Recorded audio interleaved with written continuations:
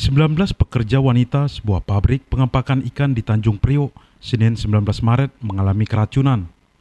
Diduga para korban menghirup gas yang bocor karena sebelumnya mereka merasa mual dan pusing. Peristiwa yang menimpa belasan pekerja PT Dharma Persada itu terjadi di saat para korban baru saja memulai aktivitasnya, mengepakkan ikan dan hasil laut lainnya. Satu persatu mereka pingsan sesaat setelah menghirup gas yang bercampur udara pendingin di gudang tempat mereka bekerja.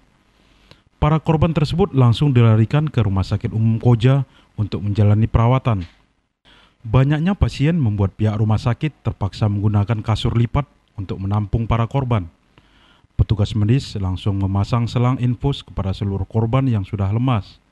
Sementara itu, Tafta Jaini, koordinator karyawan, membantah peristiwa tersebut akibat kebocoran gas di perusahaan, namun karena para korban tidak sempat sarapan pagi.